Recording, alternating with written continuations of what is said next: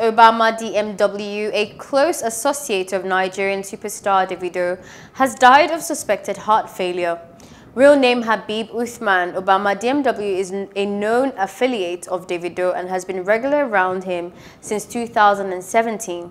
During the COVID-19 and forced lockdown of 2020, he started doing Instagram live interviews with music industry personalities and had a viral moment with an episode with Pasuma.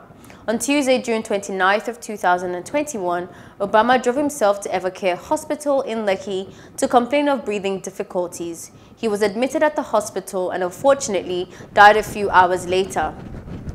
Aside from always hanging around Davido, Obama DMW was also a music executive come artiste. Hello, hope you enjoyed the news. Please do subscribe to our YouTube channel and don't forget to hit the notification button so you get notified about fresh news updates.